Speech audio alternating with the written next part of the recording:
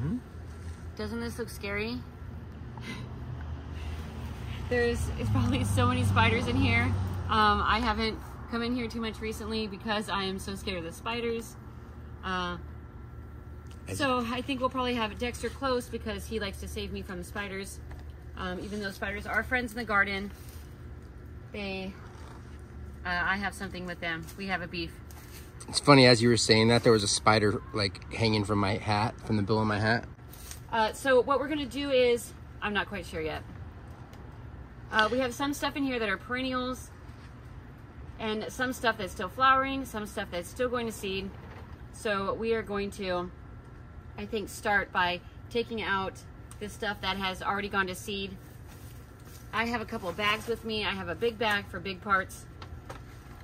And there's a goddamn spider inside of the... Are you fucking kidding me? telling you, this is why I have a beef with. This is why I don't like spiders. Like it's not. Mm. It's. This is why she makes me come in, come out here. I don't she- know if maybe I was something that ate spiders in a past life. I don't know, but can you see it in there? Tell me if it's coming close to me. I don't even know what you're talking. I don't see. Oh yeah, I see it. I see spider web too in the make in the corner of it. Well, but this was. Yeah, here. Let me see. Oh, so it must have been living in the bag. Oh wait, this came from McDonald's today. No, it's oh, that's not the one from last night. No, this came from McDonald's today. Oh, it was from last night. Yeah, that's the one I harvested the seeds in last night. So I I brought it in. Oh, so it made that nest in there overnight? Uh huh. Oh my gosh. Okay. Uh, well, I have some smaller bags in here. I'm gonna release this spider somewhere else in the garden. Um, I have some smaller paper bags in here for uh, smaller seeds to keep them separated. And we don't eat McDonald's every Gotta keep them separated. yeah, don't judge us on our McDonald's bag. Uh, we were at the farm for a couple hours last night and didn't get home until uh, 8 o'clock. And so, anyway, so I'm going to release this uh, spider. And um, I'm probably going to do a little bit of cutting because there's some statice that needs to be cut. Uh, so, yeah, let's just get started and figure it out.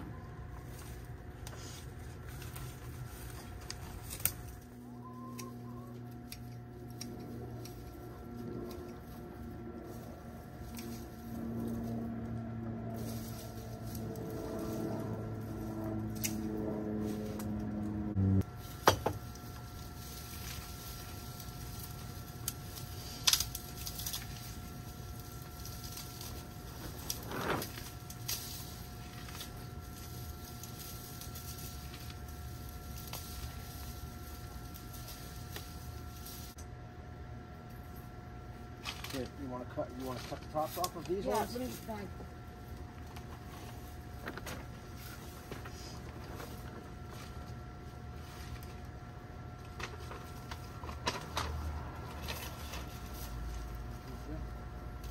I'm using them too. Here. Yeah, here. I'll take the I was just gonna cut these really Here, quick. here. I'm mostly just pulling weeds, but there's these larkspurs.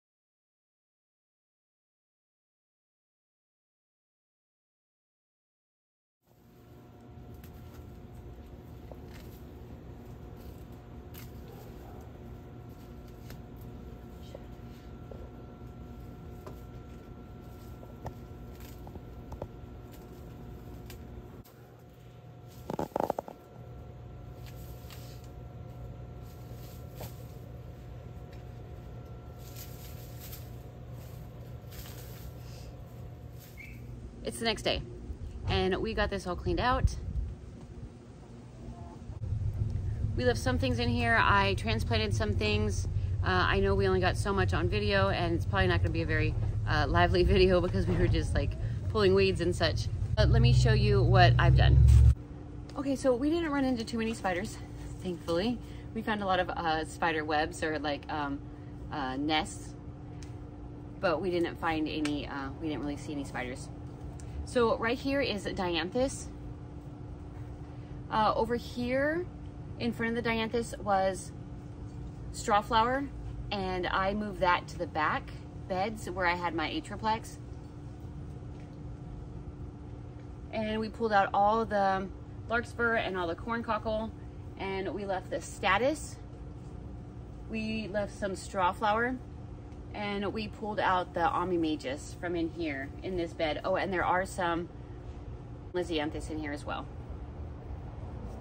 I guess we really didn't finish that bed. Ona was on this side. And uh, this bed didn't get completely cleared out. So where I'm where I am at, there was dead bells of Ireland, there was saponaria, and and overgrown snapdragons. Uh, the snapdragons are still behind me. We just cut them down. Um, back behind me, the celosia is still there because I'm letting that go to seed. Uh, right here are, I want to say this is sea lavender.